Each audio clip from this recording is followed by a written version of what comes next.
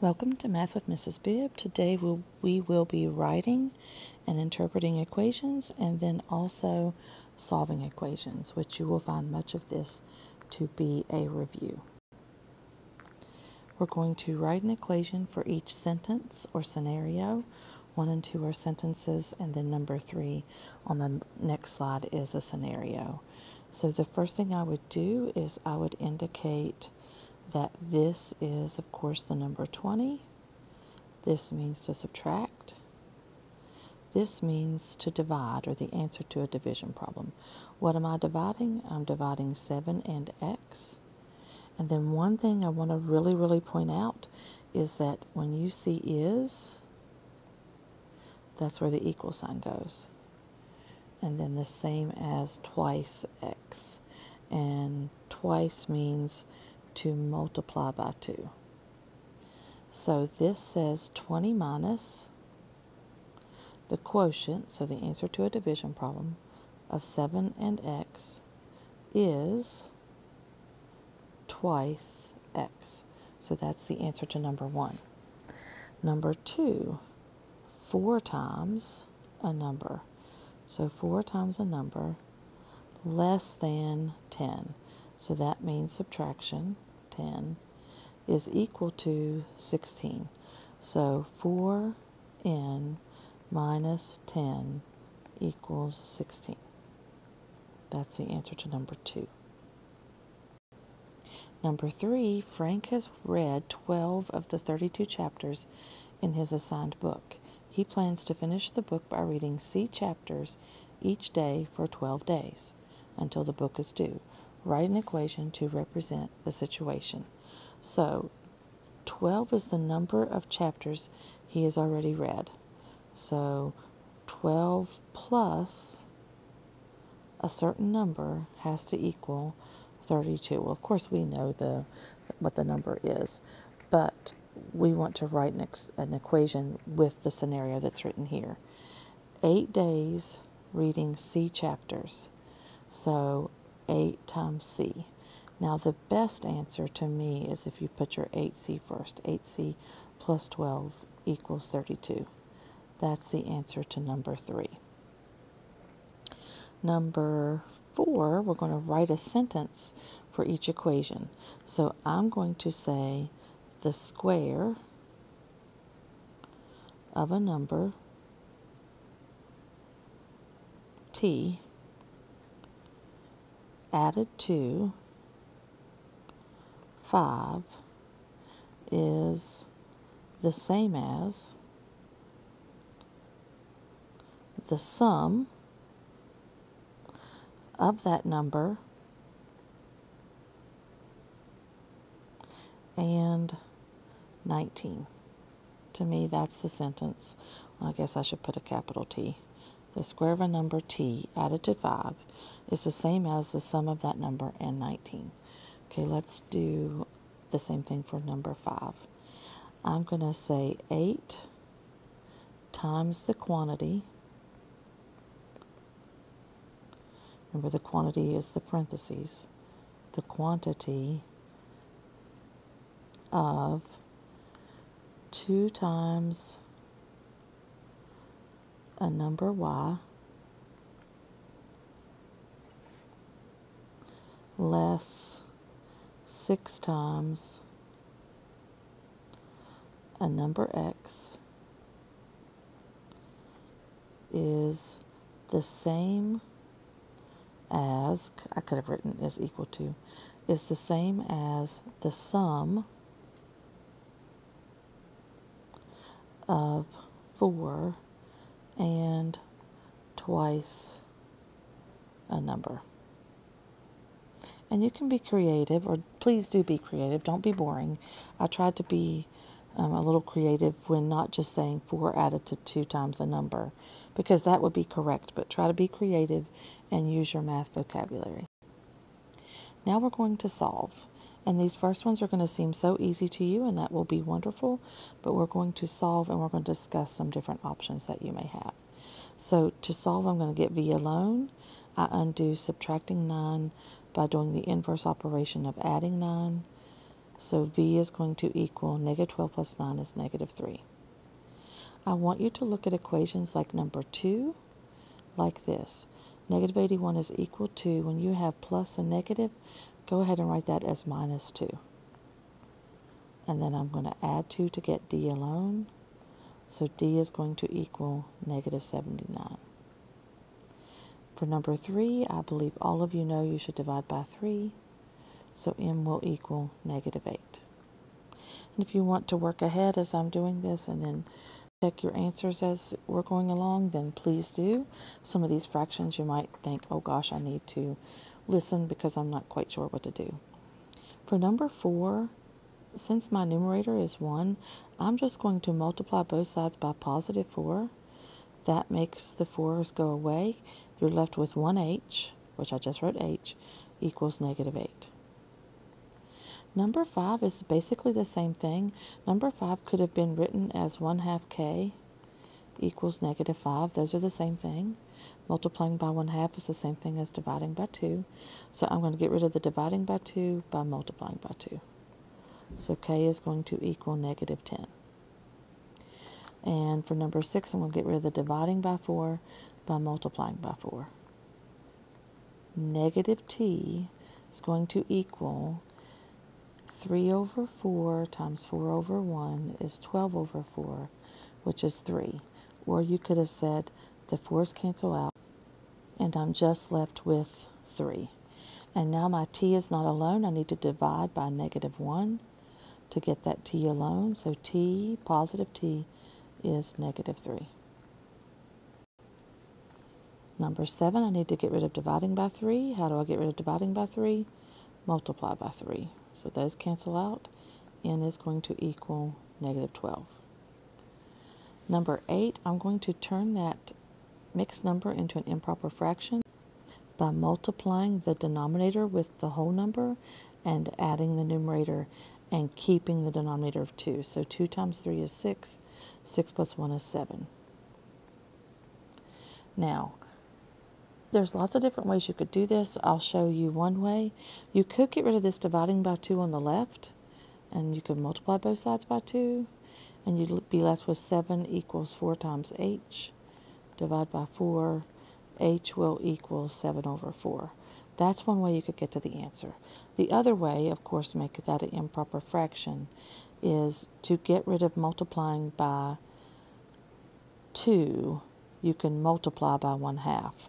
Dividing by two is confusing for students, and so that's why I don't encourage you when you have a fraction on the other side away from the variable to divide by two. I would encourage you to multiply by one half. And we'll multiply numerator times numerator, that's 7. Denominator times denominator, that's 4. So h equals 7 over 4. For number nine, I like to do this in two steps, although many teachers will teach you to do it in one step. I like to get rid of the dividing by 4 first by multiplying by 4. So I'd have 3 times h equals negative 36, and then I would divide by 3. Now, if you like the way that you were shown in middle school to solve that equation, please, please do. And a, a lot of teachers will probably um, give me some flack about solving it that way, but I have found with most students totally understand multiplying by 4 to get rid of the dividing by 4 and then to get the multiplying by 3 they understand to divide by 3 so whatever works for you please continue doing that for the next one I want to do the same thing I'm going to multiply both sides by 2 so I'm going to have negative 3m equals 10 over 7. Now I'm going to multiply both sides by negative 1 third. Whoops, which is fine.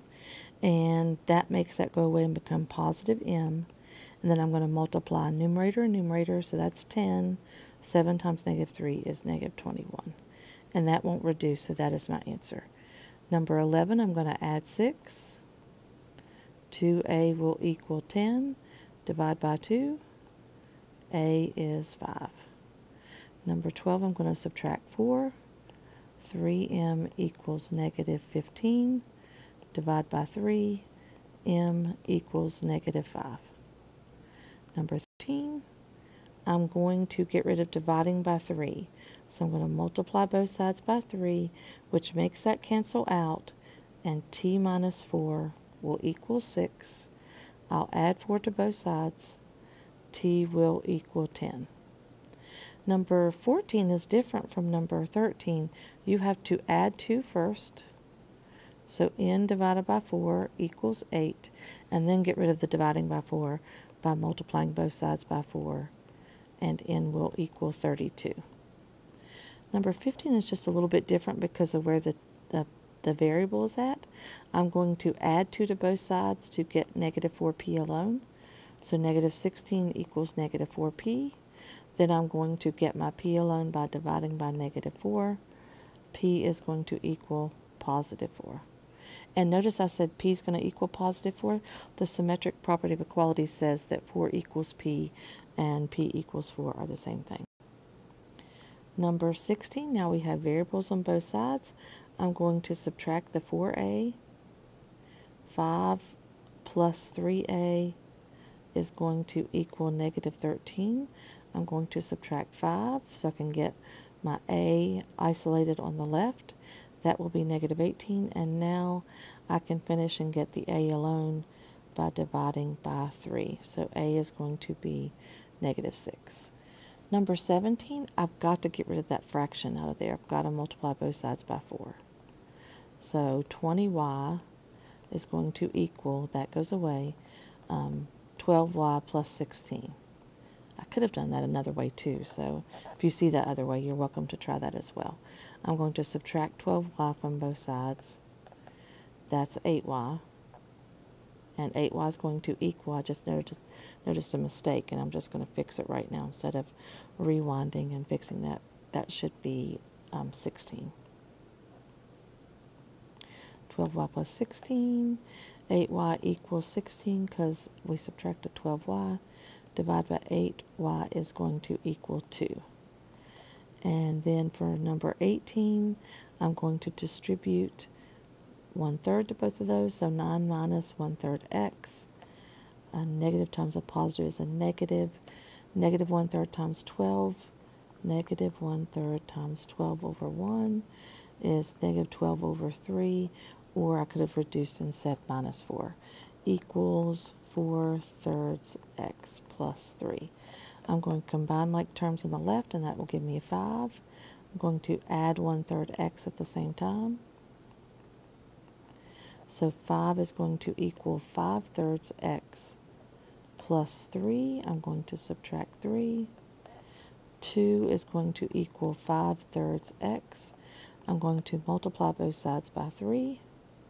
So 6 will equal 5x, and I'm going to divide by 5. X will equal 6 over 5. On to number 19. Now I'm going to determine if there's one solution, no solution, infinitely many solutions, or the textbook refers to it as the identity, but I'm going to refer to it as infinitely many solutions. One solution is obvious. No solution is when your variable cancels out and you've got a false statement. Infinitely many solutions is when your variable cancels out and you have a true statement. So let's try number 19. Distribute negative 12r minus 48 equals negative 10r plus 30. I can tell now that I'm going to have one solution because if I add 12r to both sides, my r's will not cancel out. So negative 48 is going to equal 2r plus 30. I'm going to subtract 30. Negative 78 is going to equal 2r. Divide by 2, I believe r is 39. Negative 39. So I've got one solution. And you should also include that in your answer. For number 20, I'm going to distribute. I have 8g plus 48. Then I'm going to bring down that 5g, 3g plus 48, plus 3g plus 48. So I'm going to have 8g plus 48 equals 8g plus 48. Now, if you can realize you have the same, same, same thing on both sides here, you can stop and say, this is infinitely many solutions. If you don't notice that, I want you to watch what happens. This is also called the identity. I'm going to refer to it as infinitely many solutions. Identity because it's the same thing on both sides. But if you don't see that when you're first working this out, subtract your 8g and your variable cancels out. And you're left with the true statement 48 equals 48, which is infinitely many solutions. And then for the next one, 5x plus 5 equals, I'm going to distribute 15x minus 12 minus 10x. So I've got 5x plus 5 equals 5x minus 12. If I subtract 5x from both sides, I'm left with 5 equals negative 12, which is definitely a false statement, which is no solution. Okay. Next, I'm going to solve for x. I'm going to subtract 3. Please do not let that a beside the x frighten you. I'm going to subtract 3. ax will equal 20. And to get x alone, I divide by a. So x is going to be 20 divided by a. That's the answer. For number 2, I'm going to add 5 first. 8 divided by ax is going to equal 2. I have to get rid of this dividing by ax first. So I'm going to multiply both sides by ax next. So 8 is going to equal 2 times a times x. And to get x alone, I want to get rid of multiplying by 2 and multiplying by a. So I'm going to divide by 2a. x is going to equal 8 divided by 2a is 4 over a. 8 divided by 2 is 4, and that a needs to stay in the denominator. Number 3, I'm going to subtract 2 first. So 4 will equal 6 divided by ax. Again, get rid of dividing by ax by multiplying by ax. So 4ax is going to equal 6. I need to get x alone, and so I will divide by 4a. So x will equal 6 over 4 divided by a, 6 over 4a, so sorry about that. Then I'm going to reduce the 6 and the 4 by 2, so my answer is 3 over 2a for that one. And then for number 4, I'm going to add 5. Negative 3 is going to equal negative ax, and then I'm going to divide by negative a to get x alone. So x is going to equal positive 3 divided by a. That's the answer to that one. For the next problem, I need to write an equation for the problem and then solve. The Student Council raised two fifths of the money they need to cover the cost of the school dance with a bake sale. They raised an additional $150 selling raffle tickets. If the Student Council has raised $630, what is the cost of the dance? So X is cost of dance. Write an equation for the problem. Okay, so 2 fifths times X, because they've raised 2 fifths of the cost, plus they sold $150 for from selling raffle tickets and this is how much they have raised $630. Okay, so let's subtract 150. 2 fifths times x is going to equal 0, 8, 480. And then I'm going to multiply both sides by 5. So 2x is going to equal 5 times 0 is 0, 5 times 8 is 40, 5 times 4 is 20, plus 4 more is 2400. 2400, then I'm going to divide by 2, so X is going to equal $1,200. So the cost of the dance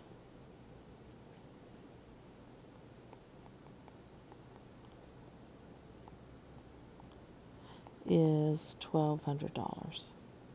That's what that problem is asking me. And then the last one Liza earned some money by taking care of her neighbor's pet. She bought a drink for $1.95 and a concert ticket for $30. She bought a ring for $7.20 and then spent two thirds of the remaining money on a wireless speaker. If Liza has thirty-eight fifty left, she has thirty-eight fifty left, and M is the amount of money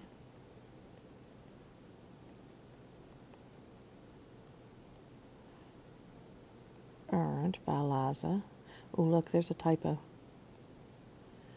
Lisa and Liza.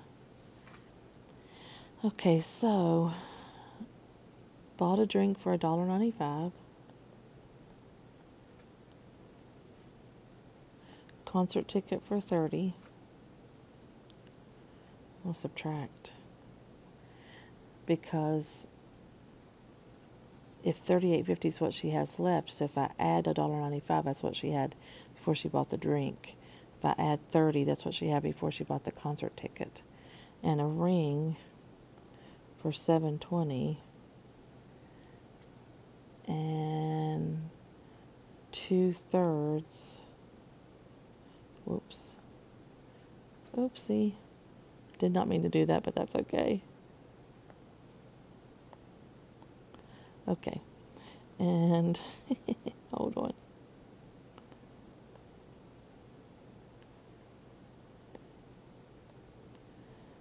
Two thirds times m. So 2 thirds times m minus 720 minus 30 minus 195 equals 3850.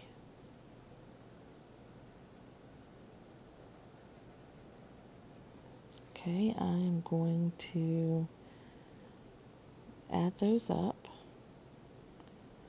3195 plus 720 3915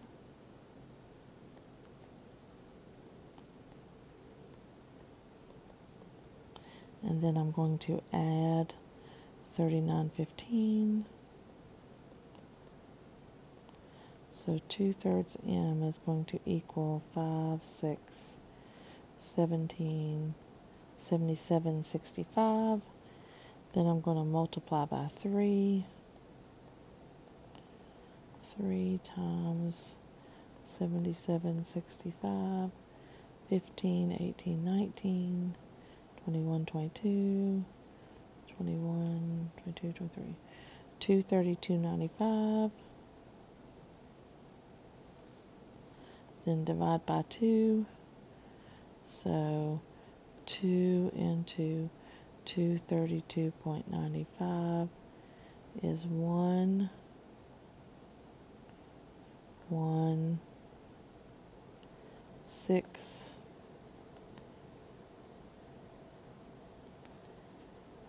okay. 40 bring down the 9 times 2 is 8 15 47 so I'm going to say uh, Liza earned, I'm not going to go exactly to the penny, approximately $116 taking care of her neighbor's pet.